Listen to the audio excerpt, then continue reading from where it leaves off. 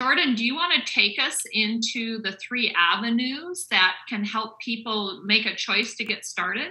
Yeah, so I agree. Everything you said was spot on. I was like gonna reiterate two of them um, that I always think are important before you kind of do a deep dive into your emotional state. And one of which I call it eliminating noise in the body. And it's kind of like what Kelly talked about when um, what you're eating isn't helping you, that's disturbing your gut health um, or affects hormones. That's going to impact your emotions. So it's kind of important to do those first steps before you do a deep dive um, to your emotions. And then the other one, what she talked about, was practicing reflection and being honest with yourself and checking in um, and saying like what is my language like what emotion am i feeling to really understand what emotions you're dealing with because a lot of emotions are really similar right instead of saying oh, I'm mad at this person, you should reflect and say, well, am I really mad or am I disappointed? Um, do I feel betrayed? Do I feel my trust was broken? All of those can feel like mad or anger, but if you keep going deep down, you can kind of get smaller and smaller until you find the emotion or action that lets you then realize how you should tackle it. So I'm a big proponent of self reflection, being self awareness, like Kelly talked about with your words and how you're speaking, practicing gratitude and positivity. If your sentences always start with, I can't do that, um, I have a hard time doing this, or, or whatever it is, um, it's important for you to be aware of that so you know what oils and emotional avenue you should use to conquer that. So I wanted to show you guys three clear avenues for finding emotional breakthrough um, with essential oils. And I'm going to show you three different product sets depending on where you are in your life. So the first one, um, you should ask the question to yourself is do you have things you need to let go of? So are there past traumas in your life or there may be really negative relationships um, that could be romantic it could be at work could be a friendship even. Um, are you blaming others for where you are in your life? You know like do you feel like there are some really negative heavy things that you carry with yourself? And um, if you do i recommend starting with this book called conquering toxic emotions. And you can get that from growing healthy homes. I can list it in the comments um, and then they now do a PDF workbook, which is better, I think, than this. But this book is in the workbook is going to walk you through different oils to use and um, where to apply them and let you really work on letting go of these things that you're carrying with you. I did this about a year and a half ago, I think, and I already think I need to do it again. It's not one of those things that's a one and done, but something you might have to continually check in with um, but I remember when I first started working through this workbook, I would put some of these oils on and read the passage in the workbook, and I'd be like crying.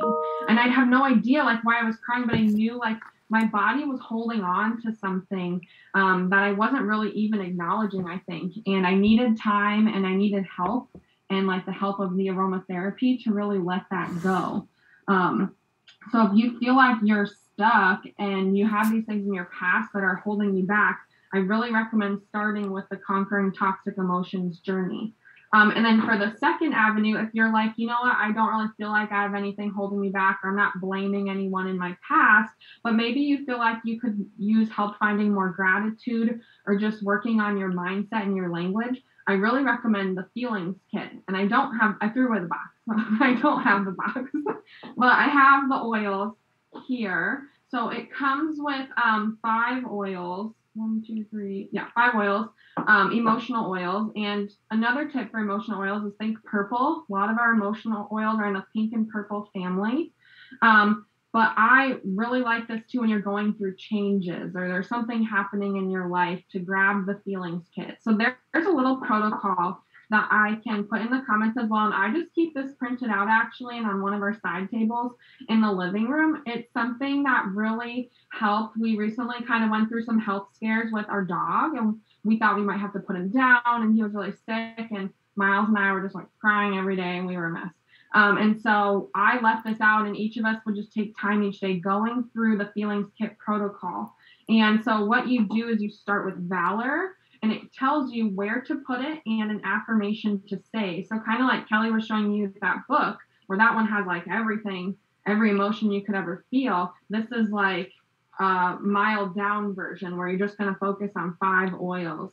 Um, and so, like, for example, valor, you start with applying to your feet, and your affirmation you say is, I am courageous and grounded in everything I do. I am ready to transform my life.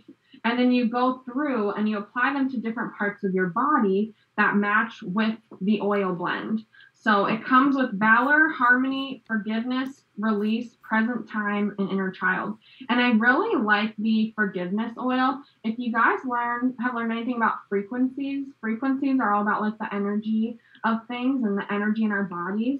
And forgiveness oil has one of the highest frequencies of all the oils um, Young Living has. I think it's like the third. And so imagine if you have maybe something you're holding on to that you're not forgiven, what that's doing to your body. If the act of forgiveness can lift you so much higher in your frequency, what is the act of not forgiving doing to your body?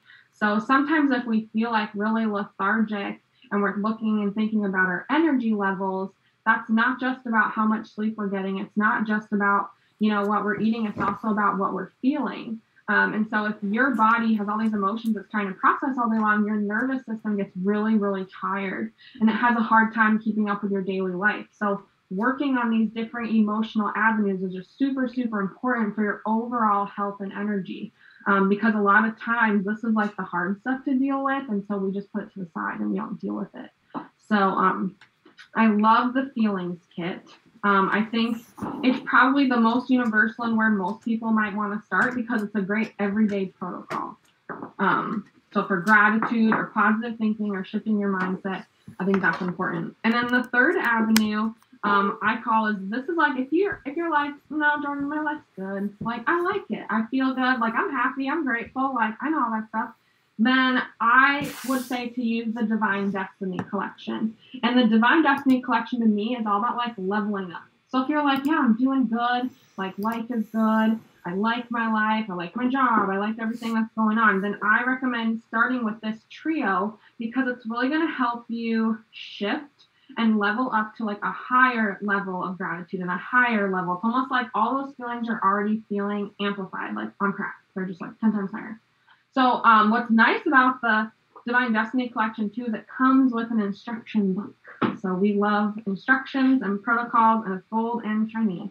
Um, but it comes with three oils and just the names like make me happier. It's daily divine, I am blessed, and I am creative. And what you do is each week you actually start using a different oil. So sometimes when we're dealing with emotions, what people will do is they'll grab like every emotional oil they have and toss it on themselves. And it's good to kind of one at a time use your oils and use your blends and let your body sit and settle with each one and decide how you feel because an emotional oil that I love might resonate differently with someone else and vice versa one they love might re- not resonate with me like I remember I used to hate the smell says a lot about me I guess but I used to hate the smell of gratitude oil and then when I did, I was like, oh my God, what does that say about me? Because they say that you don't like the smell of things you need. And I was like, oh no. So it took me like at least a year to like the smell. I was just like put that back on my shelf and I never touched it again. And then one day I was like, you know, I'm like, I should like try this one again. And I loved it. So I had done some emotional work that clearly allowed me to let go and really work on gratitude in my life. So um, if you're going through any of these and you don't like the smell of them, don't panic. But um, just know that that might be an area you should really focus on. So, like, you open up forgiveness and you don't like it, well, maybe that's something we really need to focus on. Or same with present time. If you open present time and you don't like it, think to yourself, well, am I always rushing through things? Am I really ever sitting still? Am I at peace? So use kind of those cues and those self-reflection times to think about why that might be. And it can be really challenging because you have to be really honest with yourself and really honest about your own flaws and your own things that you need to change, where it's easier for us to project that onto other people. So, um, as you're going through any of these, if you don't like them, just keep on trying. Put them lower on the body where you don't smell it as much. But with the Divine Destiny collection, you're going to start with Daily Divine and you're going to apply just this oil for a week. And then the second week, you add your I am blessed to it. And you do that for another week. And then the third week, you got I'm creative. And then you do that one. So um, it really amplifies each one with each other. And so it's important to go through the protocol because if you just start slapping on all three, you're missing the beginning. You're missing the beginning entry level steps of this emotional journey. And it's important for you to walk every step. Otherwise, you're going to have to backtrack and start over. You're, you can't skip steps and just like get to manifestation and abundance and be like, oh, you know, glowing aura, whatever it may be. You have to really do the work, and that takes time. Um, so remember that you've spent years probably ignoring or not cultivating healthy emotional habits. So it's really important that we're gentle with ourselves because you might start using your emotional oils for a while and you feel great. And then you're going to stop using them because you're like, I don't need them. I feel great. And then a week or two later, you're going to find yourself slipping into those old habits. So it takes a really long time for us to retrain our brain when it comes to the way we think, the way we feel, and the way we talk. And so just be gentle with yourself as you go through these um, steps and really just be honest with yourself what you're going through. And I think you'll notice a lot of breakthrough if you can kind of follow through in that journey. So those are your three avenues um, for emotional breakthrough. And if anyone wants any of the links or graphics to how to use these, I can just put them in the comments. Just let me know. And um, I hope you learned something new about your emotions. well, I am grateful you gals came on to have this conversation tonight. I have learned so much, and I love uh, the main points that you gave in such a short amount of time. Just as a quick review, I love that you reiterated gut health um, and the toxin free home and how incredibly important that is as some of your first steps. And then the second uh, major thing uh, to think about uh, is how the role that emotional health plays in our total well-being. I, I think sometimes we don't think about how emotions play with our health. And so the information that you gals gave tonight is absolutely phenomenal um, in that. And I really appreciate having the three avenues to choose from. Um, I think that uh, that helps to clarify where do I begin um, and or where do I where do I uh, reflect uh, to start going through that. So thank you guys so much.